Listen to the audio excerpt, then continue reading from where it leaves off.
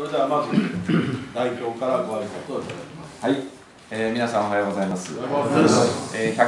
177回国会があ今日で終わります。えー大幅延長を含むこの長い国会、皆様のご奮闘に心からあー感謝を申し上げたいと思います。本当に皆さんご苦労様でございました。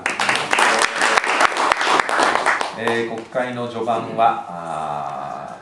与党の政府与党のいわばばらまき体質を内包した予算のおあり方。これに論議が及びました、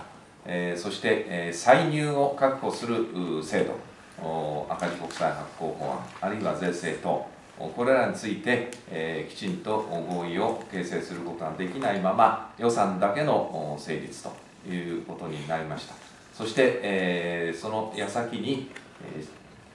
東日本大震災に見舞われかつて経験したことのない原発の事故というものにも遭遇をしたわけであります、え我々はあ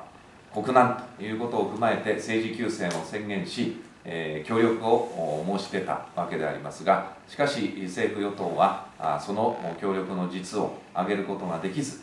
結果的にはあやることなすことすべて遅いそして鈍いまたあせっかくやっても心が伝わらないと。こういう結果に終始しました、えー我々はあついに6月初めに内閣不信任案を出したと。しかしそれも菅総理がいわば偽装否決ということで、えーその後政治空白を招いてしまったわけであります。えー我々は見るに見かねて、この震災に対応するために合意形成はむしろ立法府、国会、そして野党がリードすべきである。こういう観点から復興基本法をはじめ、議員立法を数々出してまいりました、え原発の仮払い法案あるいは気候法の修正、えそしてまたあ瓦礫の処理、えーまた災害調理金の新しい制度そして、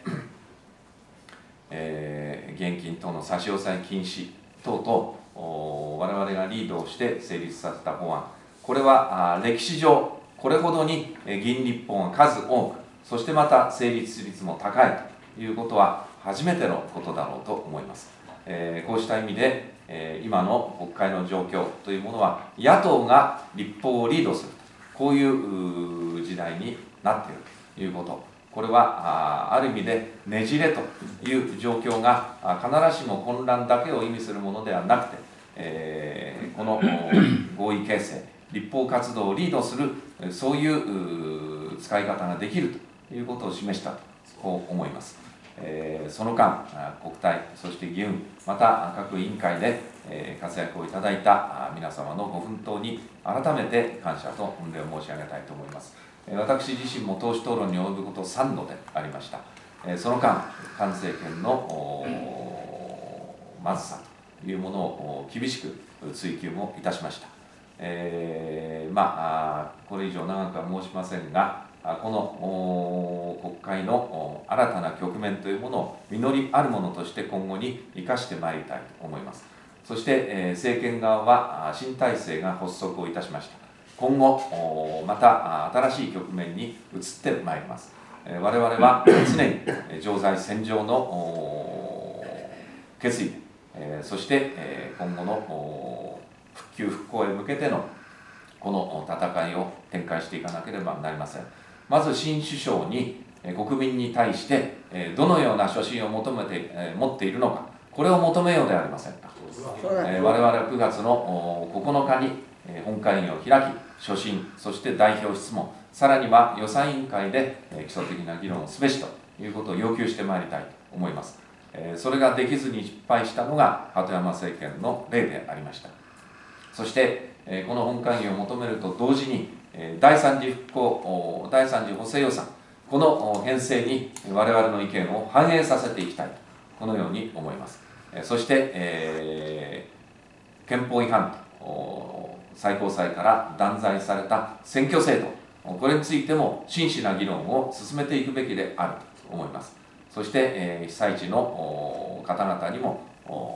自分たちの代表を選べるようなそういった地元の選挙これができるようにそしていずれは国政の選挙ができるようにとこういった基盤を整えて本来の筋である総理が3度も変わって国民の信を得られない。えそしてまたマニフェストを修正、えー見直すと言いながらあーその破綻に対して、え国民の信任を得られない、えこういう状況を解消するようなあ方向へと導いていかなければならないと思います、えそういった大きな観点に立ちながら団結こそ大事でありますので、えこの公明党の進化を今こそ発揮してまいりたいと思います、えー結束をして頑張りましょう。本当にご苦労様でございました。えっ、と、